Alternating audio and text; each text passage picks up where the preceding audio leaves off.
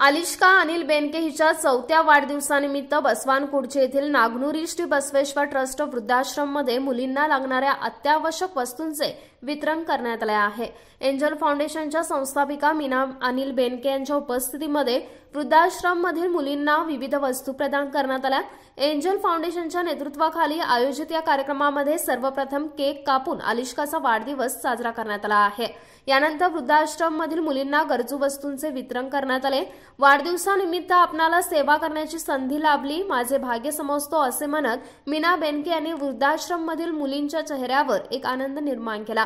यावेळी सुरेखा पाटील उज्ज्वला व प्राजक्ता यांनी एंजल फाउंडेशनच्या कार्याची स्तुती केली आणि यापुढेही अशीच ಸೇವಾ घडो असे म्हणत कृतज्ञता व्यक्त केली ಆದರೂ ಎರಡು ಮಾತು ಮಾತಾಡ್ಬೇಕಂತ ಮಾತಾಡ್ಲಿಕ್ಕತ್ತಿದ್ದೀನಿ ನಮ್ಮ ಏಂಜಲ್ ಫೌಂಡೇಶನ್ ಸ್ಟಾರ್ಟ್ ಆಗಿ ಮೂರು ವರ್ಷ ಆಯಿತು ನಾವು ಮಾಡಿದ್ದು ಇದು ನಿಮ್ಮಂಥ ಎಲ್ಲರೂ ಬಡವರಿಗೆ ಅಥವಾ ಅನಾಥಾಶ್ರಮಕ್ಕೆ ಹೆಲ್ಪ್ ಮಾಡಬೇಕಂತ ಇಂದು ನಾವು ಬಂದು ಹೋಗಿದ್ದು ಮೂರು ತಿಂಗಳಾಯಿತು ನಿಮ್ಮಲ್ಲಿ ವಿಸಿಟ್ ಕೊಟ್ಟಿದ್ದು ನಂಗೆ ಬರ್ಲಿಕ್ಕಾಗಿಲ್ಲ ಯಾಕಂದ್ರೆ ಸ್ವಲ್ಪ ಕಾರಣಗಳು ಇದ್ದವು ಹಬ್ಬಗಳು ಬಂದು ನಡುತ್ತೆ ಈಗ ಬರೋದಂದ್ರೆ ಹೋದ ವಾರ ಬರ್ಬೇಕಂದ್ರೂ ಆಗಿಲ್ಲ. ಪೂಜೆಗಳು ಇದು ಅದು ಅಂತೆಲ್ಲ ಕಾರಣ ಬಂದು ಈ ವಾರ ನನ್ನ ಮಗಳ ಬರ್ಡೇ ನಾಳೆ. ಅದು ಒಂದು ಸೆಲೆಬ್ರೇಷನ್ ಮಾಡಬೇಕು. ನನ್ನ ಮಗಳಿಗೂ ತಿಳಿಸ್ಕೊಡ್ಬೇಕು. ನಾವು ದೊಡ್ಡ ದೊಡ್ಡ ಮನೆಯಲ್ಲಿ ಇವ್ರು ಹುಟ್ಟಿದ್ದಾರೆ. ಅವ್ರಿಗೂ ತಿಳಿದುಕೊಡ್ಬೇಕು ಎಲ್ಲಂತೂ ಹೆಂಗೆ ನಾವು ಇರಬೇಕಾಗ್ತದ? ಯಾವ ವಾತಾವರಣ ಒಳಗೆ ಹೋಗಿ ನಾವು ಹೆಂಗೆ ನಡಿಬೇಕಾಗ್ತದ? ಇವ್ ನಿಮ್ ಕೂಡ, ಅದು ನಿಮ್ದು. ನೀವು ಹೆಂಗೆ ಇರ್ತೀರಿ? ಏನು ಮಾಡ್ತೀರಿ ನನ್ನ ಮಗಳನ್ನು ನೋಡಬೇಕು. ಇದರಲ್ಲಿ ಅವರು ಬೆಳಿಬೇಕು.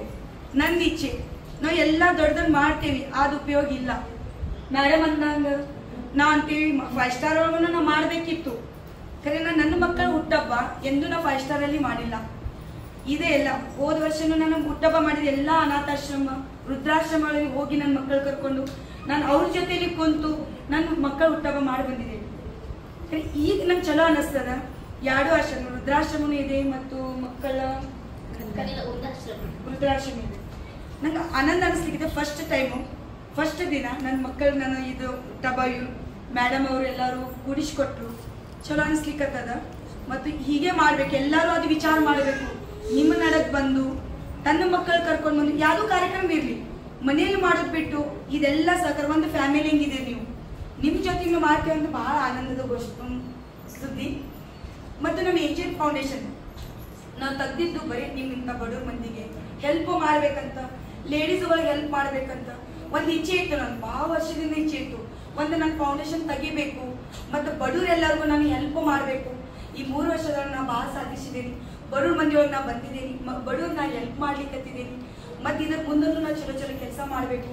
ನಿಮ್ಮಂತ ಮತ್ತು ನಾನು ಇದೆಲ್ಲ ಹಿಂಗೆ ಲೇಡೀಸ್ ಹಿಂಗ್ ಪ್ರಾಬ್ಲಮ್ ಬರ್ತದ, ಅದ್ ಸಲುವಾಗಿ ನಾನು ಒಂದು ವೃದ್ಧಾಶ್ರಮ, ಒಂದು ಅನಾಥಾಶ್ರಮ ತೆಗಿಬೇಕು ಅಂತ ನನ್ನ ಇಚ್ಛೆ ಇದೆ. ಇದು ಜಲ್ದಿ ಆರು ತಿಂಗಳು ನಾ ಮಾಡ್ತೇನೆ ಅಂತ ನನಗೊಂದು ಭರವಸೆ ಇದೆ.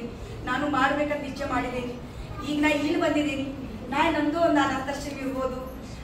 ಆಗ್ ಆಗಬಾರ್ದು. ಈ ವೇಳೆ ಯಾರಿಗೂ ಬರಬಾರ್ದು. ಅನಾಥಾಶ್ರಮಲ್ಲಿ ಅವ್ರ ತಂದೆ ತಾಯಿ ಬಿಡಬೇಕು, ಮಕ್ಕಳು ಬಿಡಬೇಕು, ಈ ವೇಳೆ ಬರಬಾರ್ದು.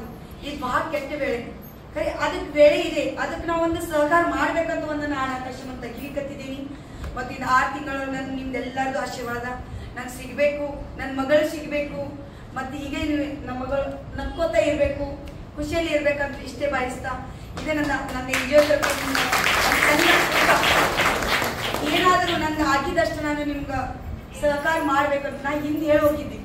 ಮೇಡಮ್ ನಾ ಕೇಳಿದ್ನಿ ಇದಿದ್ದು ನಮ್ಗೆ ಬೇಕಂತ ಹೇಳಿದ್ರು ಅದು ಅವಾಗ ಕೊಡ್ಬೇಕಿತ್ತು, ಈಗ ಹೇಳಿ ಬಂತು ಸಾರಿ ಯಾಕಂದ್ರೆ ಈಗ ಬಂದಿದೆ ನಾನು ಹುಟ್ಟಬ ಸಲ ಅದು ಕೊಡಬಾರ್ದಿತ್ತು ಮತ್ತೆ ನಾ ಬಂದು ಮುಟ್ತೀನೋ ಇಲ್ವೋ ನನಗೆ ಗೊತ್ತಿಲ್ಲ. ನಂಗೆ ಟೈಮ್ ಸಿಗ್ತದೋ ಗೊತ್ತಿಲ್ಲ ನಾ ಬರೋದು ಮೂರು ತಿಂಗಳ ಹಿಂದೆ. ಕರೆ, ಈಗ ನಾನು ಬಂದು ಮುಟ್ಟಿದ್ದೇನೆ ಈಗ. ಇದ ಆಗ್ಬೇಕಂತ ಈ ಟೈಮ್ ನಾನು ಬಂದಿದ್ದೀನಿ ಸಾರಿ ಮತ್ತೊಂದ್ಸಲ ಸಾರಿ ಕೇಳ್ತೀನಿ. ಮಕ್ಕಳು ಹುಟ್ಟಬ್ಬ ದಿನ ಇದೆಲ್ಲ ಮಾಡಬಾರ್ದಿತ್ತು. ಬರೀ ಹುಟ್ಟಬ್ಬ ಮಾಡಿ ಹೋಗ್ಬೇಕಿತ್ತು. ಕರೆ ನಿಮ್ದೆಲ್ಲ ಆಶೀರ್ವಾದ ಇರ್ಲಿ ನನ್ ಕೂಡ. ಈಗ ನನ್ ಕೆಲಸ ಮಾಡೋ, ಸಹಕಾರ ಮಾಡ್ರಿ. ಮತ್ತೆ ನಿಮ್ ಪ್ರೀತಿ ಕೊಡ್ರಿ.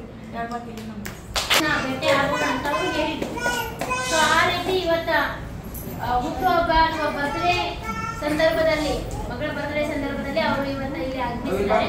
ಸೊ ಅದರ ಜೊತೆಗೆ ನಮ್ಮ ಎಲ್ಲ ನಿವಾಸಿಗಳ ಜೊತೆಗೆ ಈ ಹುಟ್ಟುಹಬ್ಬವನ್ನು ಆಚರಣೆಯನ್ನು ಮಾಡ್ತಾ ಇದ್ದಾರೆ. ಸೊ ವಿಶೇಷವಾಗಿ ನಾನು ಏನಂತಂದ್ರೆ ಮಹಿಳಾ ಕಲ್ಯಾಣ ಸಂಸ್ಥೆ ಪರ ಅಂದ್ರೆ ನೀವೆಲ್ಲ ಇಲ್ಲಿ ಕೂತಿದ್ರಿ ಇವತ್ತೇನು ಹೊಸದಾಗಿ ಇದ್ದಾರೆ ಅವ್ರಿಗೋಸ್ಕರ ನಾನು ಒಂದು ಎರಡು ನಿಮಿಷ ಜಸ್ಟ್ ಮಾತಾಡ್ತೀನಿ. ಮಹಿಳಾ ಕಲ್ಯಾಣ ಸಂಸ್ಥೆ ಸರಿಸುಮಾರವಾಗಿ ನಲವತ್ತೈದು ವರ್ಷಗಳಿಂದ ನಾವು ಕೆಲಸ ಮಾಡ್ತಾ ಇದ್ದೀವಿ. ಅದರಲ್ಲಿ ವಿಶೇಷವಾಗಿ ಮಹಿಳೆಯರ ಮತ್ತು ಮಕ್ಕಳ ಕಲ್ಯಾಣ.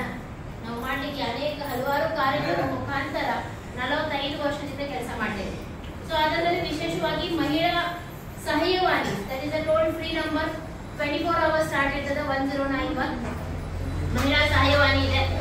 ಕೌಟುಂಬಿಕ ಸಲಹಾ ಕೇಂದ್ರ, ಗಂಡ ಹೆಂಡತಿ ಒಳಗಿರ್ತಕ್ಕಂಥ ಅನೇಕ ಸಮಸ್ಯೆ ಏನಿರ್ತಾವ, ಅದೇ ಬಗೆಹರಿಸೋದು ಕೇಂದ್ರನೂ ಕೂಡ ಇದೆ.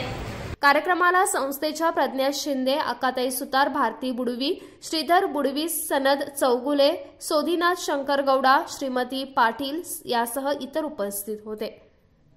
Mahadev Pawar KNN city news Belgaum.